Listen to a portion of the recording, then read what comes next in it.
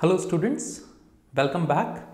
So many students have asked me this question that sir how to approach to these dermatological images because nowadays there are so many image based questions which are asked and as you all know that dermatology is a visual specialty so here many a times almost 80 to 90 percent of the questions are image based questions. And when these images come before you in the examination hall many a times you are able to diagnose them and sometimes you get confused. So how to approach to these images which are asked in dermatology so i am dr manish soni dermatology faculty for last 10 years is going to discuss that how to approach to these dermatological images in examination okay now before i come to the specific points which i am going to discuss under this video मुझे एक शायर की बहुत सुंदर पंक्तियाँ याद आ रही हैं तस्वीर कभी धुंधली तो कभी बहुत साफ़ नज़र आती है तस्वीर कभी धुंधली तो कभी बहुत साफ़ नज़र आती है कभी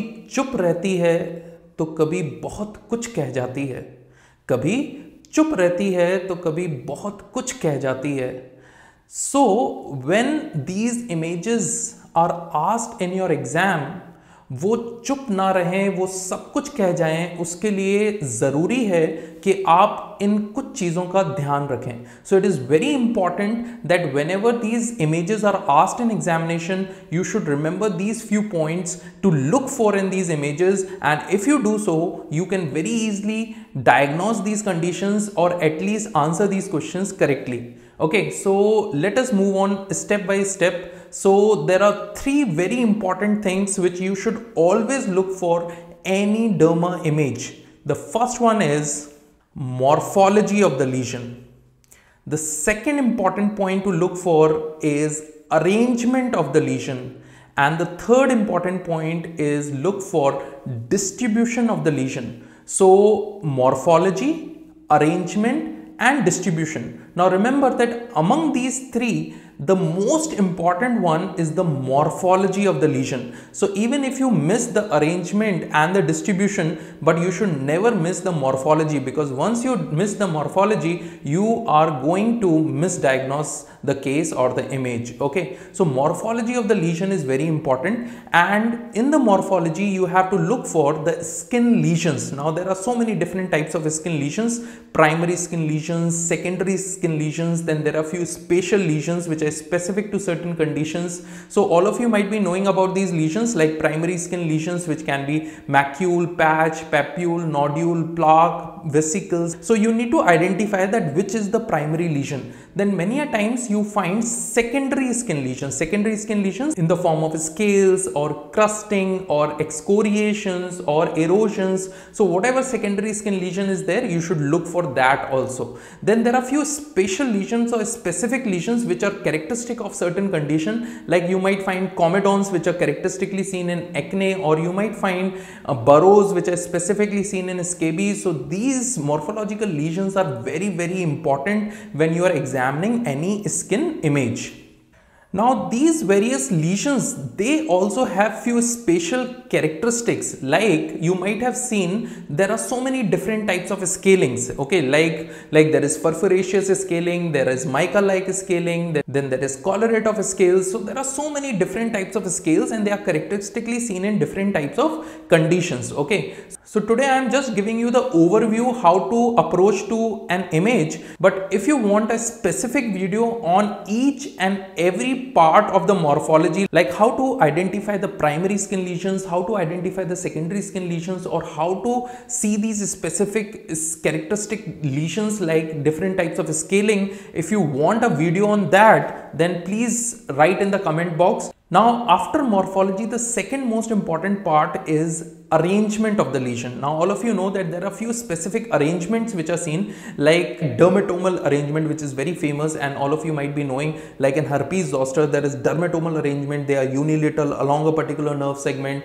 Then similarly there are linear lesions. So once you diagnose that once you come to know that the arrangement is a specific type of uh, arrangement then you can narrow down your differential diagnosis and you know that they the examiner is talking about which condition Then the third important thing which comes is distribution of the lesion. So distribution of the lesion is very important and in distribution of the lesion remember that it is not just important to see that which site is involved, it is also important to see which site is spared. Okay, so both the things are very important. So you should know the normal as well as the abnormal sites and once you know that which sites are involved, there are few conditions which specifically involve certain specific sites or they have a specific distribution. So you can very easily diagnose those conditions like seborrheic dermatitis. It involves the seborrheic areas. So once you know that the lesions are only present in seborrheic areas, you can easily make the diagnosis of that condition. Similarly, psoriasis involves the extensor areas. So once you know that the lesions are present only over extensors like elbow, knee, back, then you can very easily diagnose these conditions. So these are various important points which help you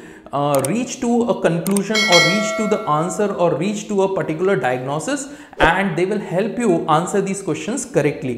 Then other than these three important things, I would also like to add here that whenever you are examining any image don't just look at the lesions also look at the overview which is being shown to you because many a times there are various clues which are present there. Like if the question is on let's say pustular psoriasis of pregnancy and the image of abdomen of a patient is given and by looking at the abdomen you know that the that the patient is probably pregnant. So sometimes what happens, you just keep on looking at the lesions and don't see the overview. So you can very easily come to know that the patient is pregnant and if the lesions are of pustular psoriasis, you know that this is pustular psoriasis of pregnancy, though the pregnancy was not mentioned in the question, but by the image, by looking at the image, you know that this is pustular psoriasis of pregnancy. Similarly, if there is impetigo of face of a child, so if you are examining the lesion of impetigo, but if you see the overview of the image and you come to know that this is infant or this is toddler or this is teenager or this is adult. So you know that which age group is being involved and based on age group also sometimes the differential diagnosis changes. Similarly some conditions are very common in young individuals some conditions are very common in old individuals like asteatotic eczema which is generally seen in old individuals or seborrheic keratosis which is commonly seen in old individuals. So if you see that there is old individual then you should suspect those conditions which are more common in these geriatric age groups. Okay, similarly, that whenever the question is asked on carcinoma, so generally what happens, they occur on sun exposed sites or they occur in old individuals. So if all these th things can be seen in the image, those are also very important clues in the question. Okay, and don't forget to look for any changes in the buccal mucosa, nail, hair, other than skin. So other than skin, there are few other sites also which you should always look for. If the image is not given, at least try to read the question carefully and find out that whether other sites are also involved or not. And this overview that is question language along with the image supplement each other and then you can very easily answer these questions correctly.